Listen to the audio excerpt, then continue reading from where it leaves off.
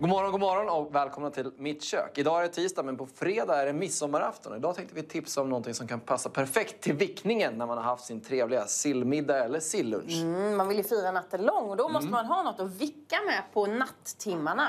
Och vi kommer göra lite smöriga grillspett till det och Ja. en härlig lite ratatouille-inspirerad sallad. Jag ska börja med grillspetten och då kommer jag ha champinjoner, en härlig chorizo-korv och syltlök och göra som små minigrillspett.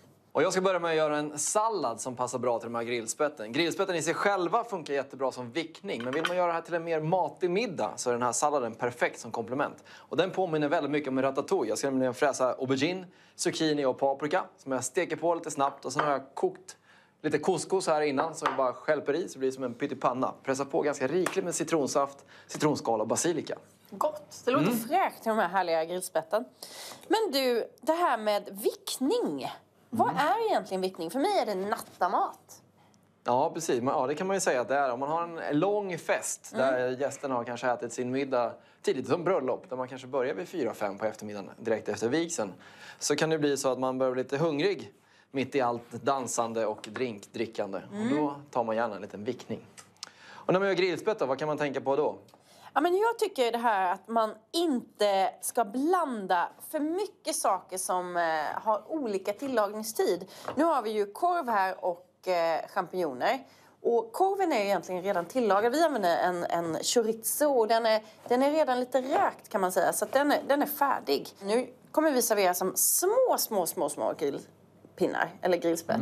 Och det är ju lite trevligt tycker jag. Så kan man liksom få ett och så med bara tre små munsbitar eller någonting på. Så kan man äta många istället. Och anpassar man då också storleken på allting där man har på så kan man ha dem perfekt som ett drinktilltugg. Ja. Alltså som man bara nafsar i sig dem.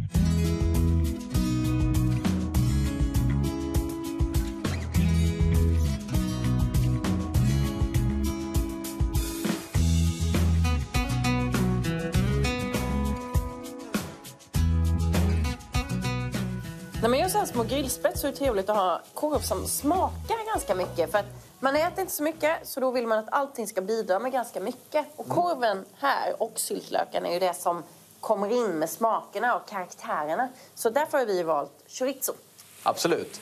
Och det tycker jag man kan tänka på. Det är ett schysst sätt att servera korv och ha den på spett. Men välj då en korv som just har en rejäl smak. Som chorizo har ju lite den här rökta paprikan och vitlök. Kanske lite, lite hetta också beroende på vilken man väljer.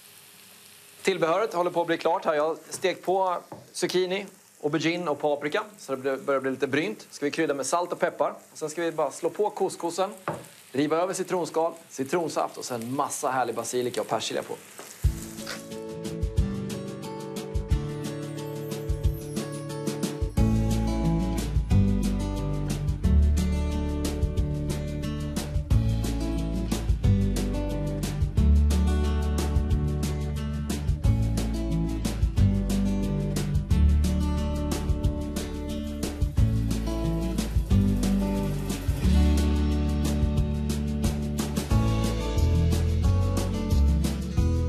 Var salladen färdig. Bara ställer den åt sidan. Och grillspetten är också klara. Så nu är det bara att gå ut och grilla, sen kan vi käka. Härligt.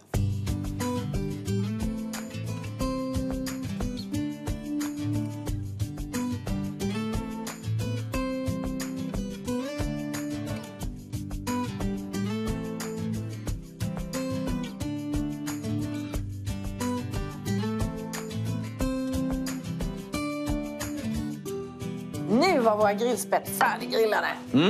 Ser fantastiskt goda ut och de kommer passa garanterat på vickningen på midsommarafton eller varför inte till middag ikväll. Jag måste nästan smaka lite. Supergott till den här ratatouille-salladen. Imorgon är det onsdag och då är Kristina tillbaka och jag tror minsann att hon kommer bjuda på någonting gott till midsommar. Mm, det tror jag det. Ha nu en fortsatt trevlig dag allihopa. Hej, hej!